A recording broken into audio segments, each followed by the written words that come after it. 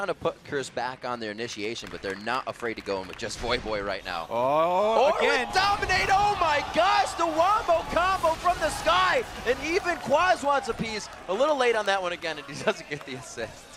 This Curse team is built